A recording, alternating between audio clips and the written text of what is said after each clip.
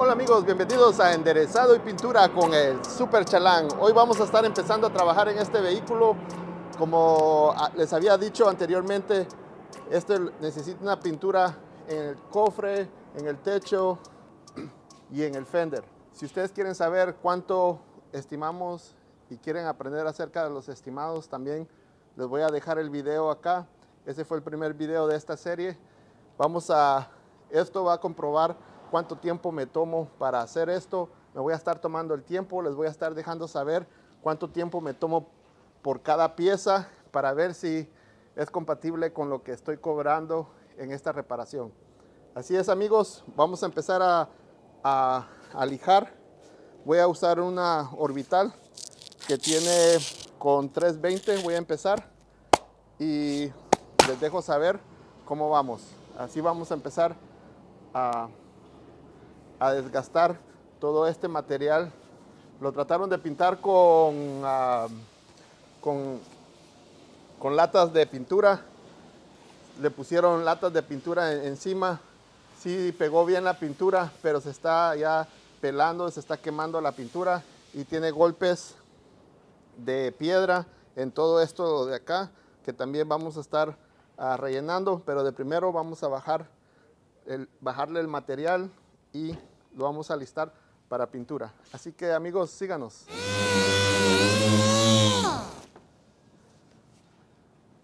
Muy bien amigos, aquí seguimos uh, lijando. Ahorita ya le pasé la 320. Muy bien amigos, llevamos, este es el tiempo que llevamos lijando con la 320.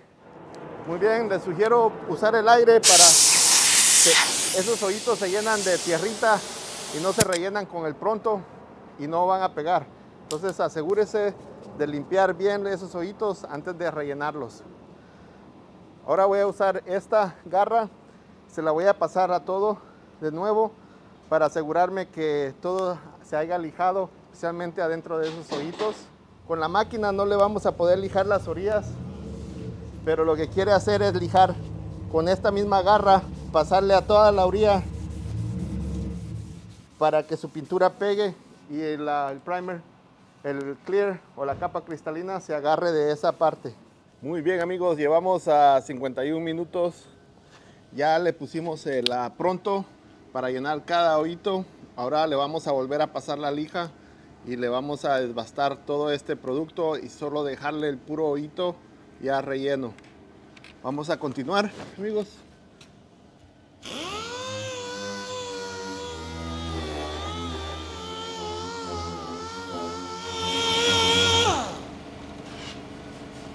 Aquí amigos lo importante es pasarla parejo y no uh, abrirle hoyos o dejarlo en un solo lugar para que coma parejo todo. Ahorita solo lo que siento es que las, las orillas están todavía muy dañadas y se las vamos a lijar. Muy bien amigos, ahí ya terminamos de rellenarle los hoyos y de lijarlo. Con esto concluimos esta parte de este hood. Llevamos dos horas con 10 minutos trabajadas en el hood, limpiadita y nos vamos a pasar a la siguiente parte. Amigos, al saber también el tiempo que se debe de tomar en arreglar la parte, se va a dar cuenta usted si se tiene que apurar o tiene que hacerlo un poquito más rápido o si puede tomar su tiempo para poder hacerlo. Claro que siempre vamos a tratar de hacer el mejor trabajo y si toma más tiempo, pues no hay de otra que hacerlo bien desde el principio para que tenga un buen resultado al final.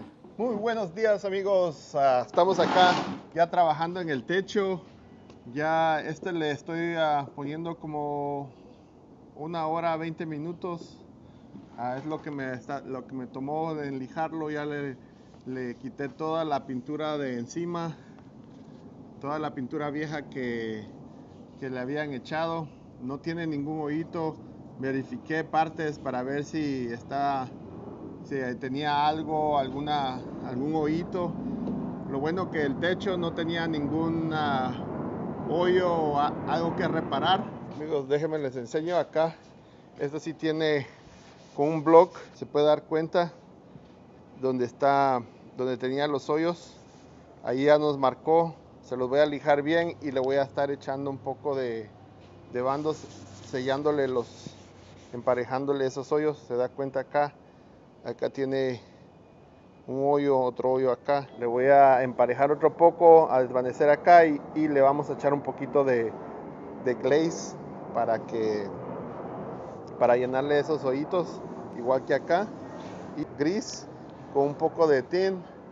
Ya saben amigos que lo que usamos siempre es este, esta es la garra gris y le pasamos esto que se llama Surface um, Scuff Stuff. Es como una arena que nos ayuda a que la pintura que le vayamos a, pegar se da cuenta es, es una arena.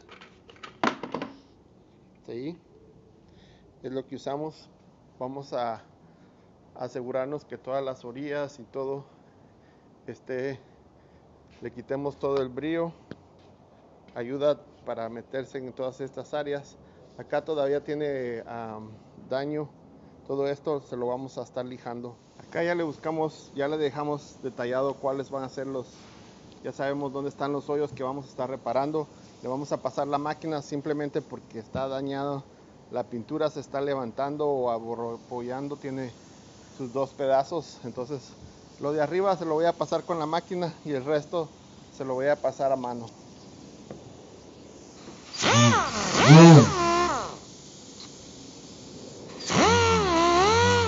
Acuérdense amigos que las máquinas tienen su forma de graduarlas. Ah, no quiere que pase la lija. La lija usualmente se rellena. Hay que estarla limpiando. Ah, lo más fácil es usar un soplador y lo mejor sería tener dos mangueras donde usted tenga una con el aire. Si se da cuenta la lija se se tupe.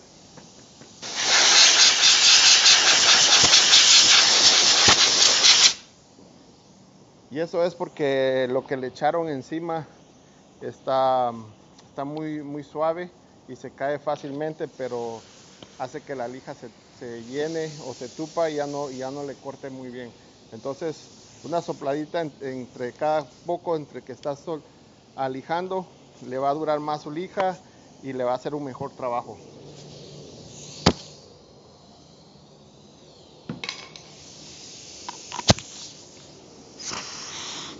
Acuérdense que tiene cómo graduarle su máquina no quiere estar muy fuerte porque no le va a lijar bien o le va a abrir hoyos a un, lado. Entonces vamos a buscar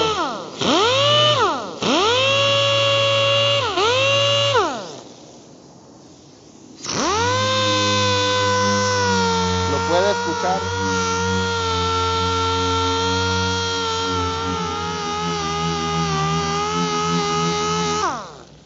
Muy bien amigos, acá ya le llenamos con bando o con masía ah, de poliéster. Ya le llenamos su hoyos y su otro hoyo que tenía acá. Le vamos a estar poniendo primer. Le vamos a dar su lijada. Acuérdense que vamos a tener videos ah, específicos a, cada cosa. So, les voy a estar haciendo un video de cómo, ah, cómo echamos bando, cómo se, cómo se revuelve, cómo se usa.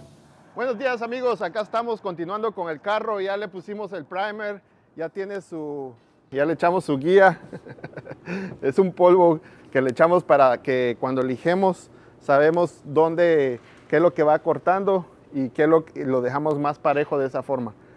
Usar su guía cada vez que está lijando, por lo menos ahorita voy a lijar con 400 y después le voy a dar, le voy a pasar otra, vez su guía y después lo termino con 600 para que tenga un buen terminado y quede todo parejito.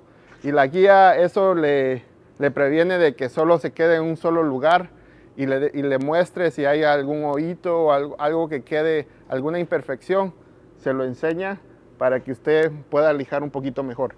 Así es amigos, vamos a continuar con esto. También les quiero enseñar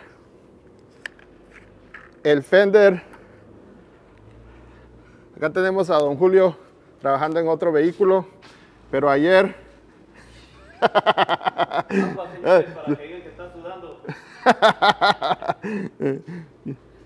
Acá tiene... Señores, así engañan al patrón. Se echan agua y no están haciendo nada, señor. Ayer ah, en la tarde, don Julio hizo esta parte. Como les estaba hablando acerca del tiempo y este video es más acerca de cuánto nos tardamos a verdaderamente en hacerlo. Ayer probablemente fue una hora para dejarlo en este estado y ah, hoy lo voy, a, lo voy a lijar. Vamos a, voy a terminar de lijar el fender y esta parte de acá también. Y es todo lo que se ocupa para terminar y alistarlo para pintura. Así que ahí seguimos amigos. Muy bien amigos, ahí ya estábamos lijando con la 600 y le quería enseñar las imperfecciones que a veces salen con el bando. A veces ah, si no se aprieta bien o, a veces el bando agarra como aire y salen unos hoyitos. Estos acá les dicen en inglés se llaman pinholes o hoyitos de aguja. Si se dan cuenta están bien pequeños, pero todos estos van a, brotar cuando pinte. Entonces es muy importante echarle el, el pronto para rellenar esos hoyitos antes de que siga lijando para, para emparejarlos y que se rellenen. Son muy chiquitos, entonces hay que tener mucho cuidado a que le entre la pasta para rellenarlos y le vamos a volver a dar su lijada.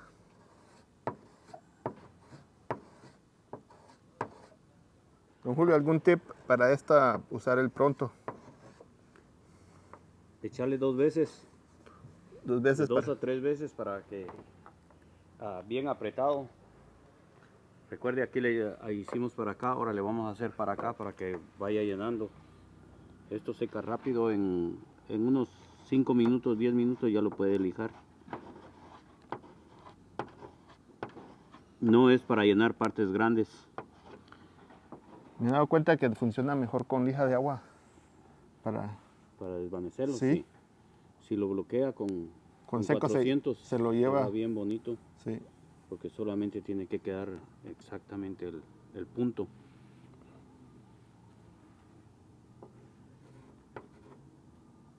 Hay que echarle para todos lados porque son bien problemáticos los, los poritos esos. Vamos para que se seque unos 5 minutos y se lo vamos a mostrar. Ya que ha secado por unos 10 minutos, ahora la vamos a pasar con 400 de agua. Y lo que queremos mostrar es de que el producto casi se remueve todo. Lo único que va a quedar van a ser los, ah, los hoyitos que estaban ahí. Se van a ver todavía. Pero lo bueno es de que están rellenos de, de pasta o de pronto. Si se da cuenta ahí todavía queda un poquito de, del producto. Todo ese producto se lo, se lo quiere remover porque ah, sale en la, Se pone amarillo. se pone amarillo. Entonces es- lo bueno es de solo rellenar los hoyitos pequeños.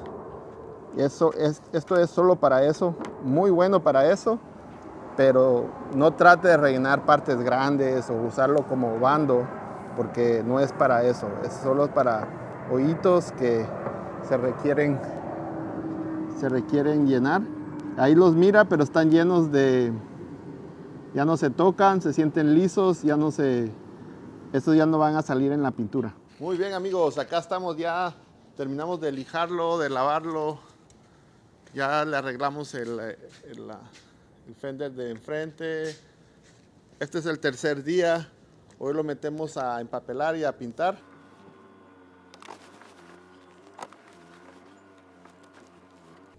Muy bien amigos, acá ya lo estamos metiendo para pintura. Lo vamos a dejar cabal en medio del, cuarto de pintura. Muy bien amigos, acá estamos ah, ya empapelando todo el carro, listos para la pintada. Ya tenemos todo cubierto. Ah, lo de la empapelada ha estado tomando un poco de tiempo, ya llevo como dos horas y media, tres horas empapelándolo. Y eso es porque me quiero asegurar que todo esté bien y ah, así no se me levanta nada. Cuando ya quite el papel, me aseguro que todo, todo esté bien cubierto y a la vez no esté encimado para que no, no tener esos problemas. Acuérdense que si encuentran algo que se encima o el clear se les monta en el papel, asegúrense de cortarlo con una navajita, que es la mejor manera de poder quitar esa situación. Pero como ven, ya estamos en la final, así que ahora viene la pintada. Muy bien amigos, ya terminamos de pintar el carro, tomó dos horas para hacerlo y vamos a acumular todos los tiempos y ver cuánto en verdad nos tomó hacer esta reparación. Todavía nos falta un poquito más de tiempo, quitarle el papel, darle una sentadita para quitarle las basuritas, donde, las basuritas que tenga. Y vamos a, voy a agregar todo ese tiempo y se los voy a dejar acá en la pantalla. Muy bien amigos, acá tenemos los resultados del trabajo que hicimos. Estos son lo verdadero, el tiempo que nos tomó. A este le habíamos estimado dos horas al techo dos horas, a la cajuela dos horas y al guardafangos le habíamos estimado dos horas. Como ven, estuvimos muy cerca, en unos un poquito menos, en la cajuela nos tomó un poquito 2.5 más por ah, que tuvimos que hacer la reparación y ponerle bando. La empapelada y la pintada fueron 5.5 y las cosas que se nos pasó y que no le agregamos, que le teníamos que haber agregado, es la pulida. Para poderlo pulir necesitábamos dos horas de dos horas de lijar y dos horas de pulir. Con todo esto también le voy a incluir este tiempo de la limpieza y la lavada porque a la hora de, pulir le, hay que limpiarlo y hay que, hay que limpiarle todas las orillitas y lavarlo y, dejarlo terminado. En total le voy a poner que son 5 horas de la pulida. Y algo muy importante que se, que se me olvidó poner en este estimado que es defumar las partes. Eso no lo tenía yo en consideración. Acá le agregué una hora, pero probablemente ah, tiene que ser un poquito más de tiempo acá. Ah, en total, el gran total de labor que nos, que nos teníamos que haber cobrado eran 19.2. El estimado que nosotros hicimos fue de 17.3, que fueron dos horas que nos faltaron cobrar, que hubieran sido como 140 dólares. Ahora, acuérdense que en cada estimado que hacemos vamos aprendiendo algo que tal vez nos faltaba, los materiales, tal vez no nos salió, tenemos que revisar que nuestros materiales que estamos usando para pulir, para pintar, el papel, todo eso lo tenemos que incluir en nuestra estimación y tenemos que saber si en verdad estamos agarrando suficiente dinero para cubrir todos esos gastos. Así es amigos, para que miremos si en verdad se hizo el tiempo que pusimos en el estimado. Y aquí tenemos los resultados amigos. Nos agarró un buen brío como ven todo quedó muy bien, liso, brillante. Y ahora nos toca la desempapelada y la pulida.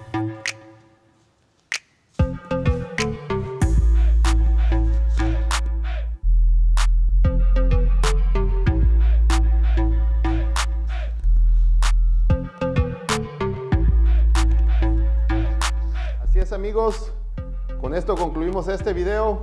Gracias por estar acá con nosotros y acuérdense que tenemos otros videos en Arte de Don Julio y acá les voy a dejar otro video que sé que les va a interesar. Gracias y hasta pronto.